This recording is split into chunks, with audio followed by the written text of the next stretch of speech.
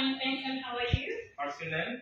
I am Tanduim Tosi from Tantra You can call me Ayesha Absar. How do you feel when you come to Bangladesh? Coming to Bangladesh, it was a bit of a challenge. It was a change of an environment, change of everything that I'm used to. Um, so adjusting to Bangladesh was a bit of a challenge.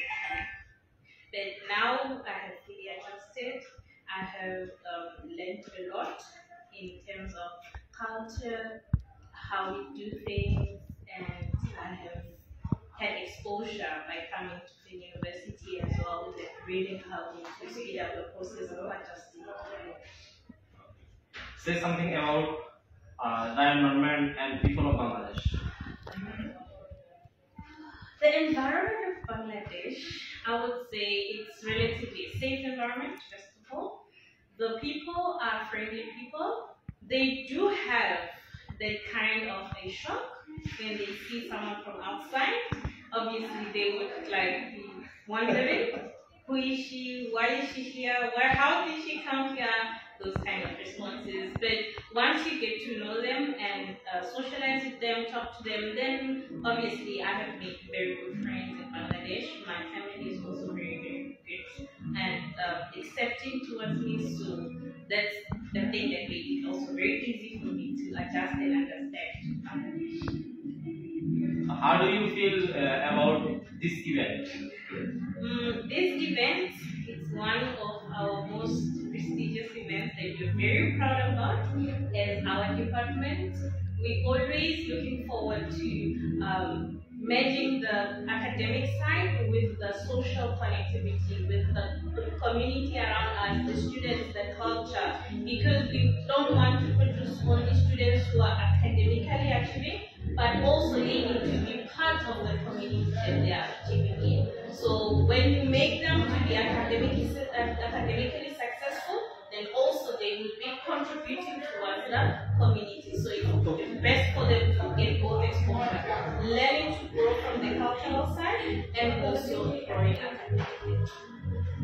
Thanks. Uh, I have one question, sir, if you don't mind. Uh, just say something about the faculty of business admission of Feni University.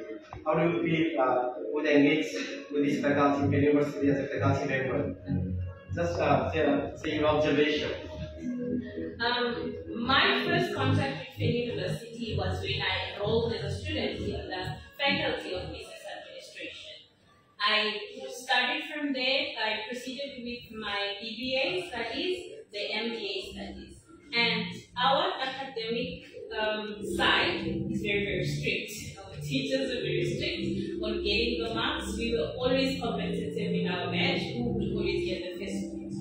And then they were also always encouraging us to uh, do presentation, do speeches, trying to build our confidence. And that's one thing that Faculty of Business Administration now is looking forward to.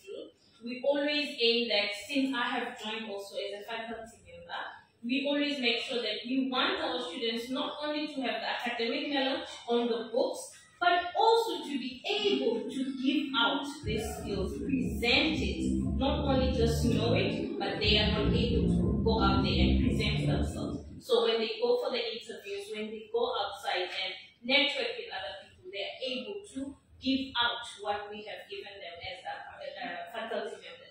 And how do we do that? We are seminars, we are conferences from our learner teachers, they get a lot of experience. Outside people are also uh, invited, the guests who are in the industry, who have experience, who have been there. So they are able then to give us the way ahead of how we, what we can expect when we get into the working environment. What kind of uh, things we need to be aware of and be uh, prepared for that we will encounter when we go into the working environment. Because studying and then going into the job, it can be a very challenging change as a student going now into becoming an employee. So our department then has uh, also embraced the new um, curriculum, and that helps a lot then with the kind of activities and the assessments that are given to the students. It helps them to be able to uh, find out more about what is happening in the workplace, what is expected for them to all the